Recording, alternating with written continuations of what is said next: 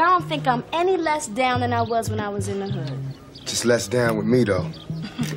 Pick, being with you is no good, okay? It would be all about you. Now tell me it wasn't like that before. It wasn't like that before. Pick. All right.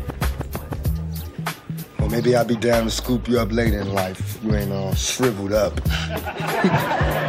you could be like Ossie Davis and Ruby Dee. You know you always got a place in my heart. But you know the.